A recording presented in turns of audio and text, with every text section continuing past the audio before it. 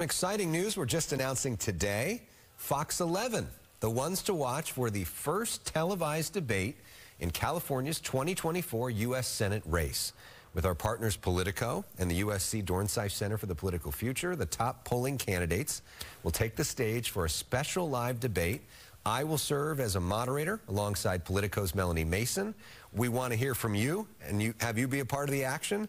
Email us your questions for the candidates at kttvdebate at fox.com, and they may be answered live. You can watch the showdown for U.S. Senate Monday, January 22nd, right here on Fox 11 from 6 to 7.30 p.m.